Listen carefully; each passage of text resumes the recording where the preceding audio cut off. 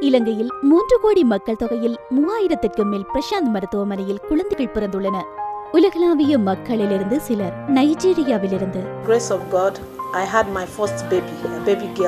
இலங்கையிலிருந்து